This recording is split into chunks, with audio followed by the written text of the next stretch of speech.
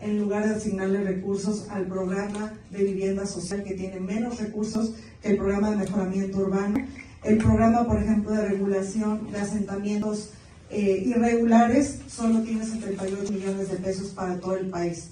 Si realmente la bandera fuera primero los pobres, se destinaría más presupuesto para la vivienda social y para los asentamientos irregulares. Y por último, que también es preocupante, es que eh, de nuevo dejan sin recursos a los pueblos mágicos. Nuestro estado es el estado con mayor número de pueblos mágicos en el país. Tenemos 10 pueblos mágicos y los 10 alcaldes de pueblos mágicos necesitan recursos porque cada peso que se destina para los pueblos mágicos se multiplica, es un efecto, es un efecto multiplicador el que se da en la cuestión económica para los pueblos mágicos y de nuevo en el presupuesto 2023 no está contemplado cero pesos para los pueblos mágicos.